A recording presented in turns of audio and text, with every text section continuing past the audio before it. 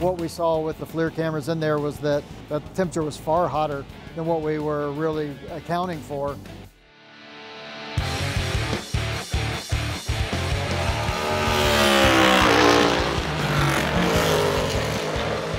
The Next Gen project as a whole is a big modernization of the race car platform itself. Right now, one of our biggest challenges is thermal management of the cockpit.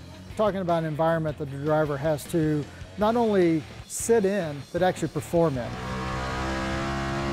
Currently, the, the, car is just getting too hot compared to what we currently run. But FLIR has been really great to help us with visualization of, of the heat and where we need to concentrate our efforts.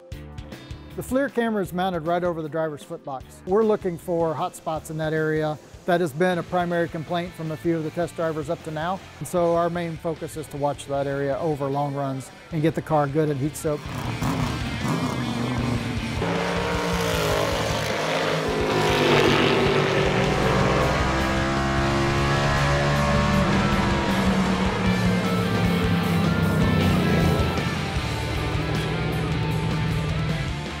While we had the cameras positioned looking at the driver's foot compartment, we had a secondary camera that had a little bit wider view off to the right side of the car.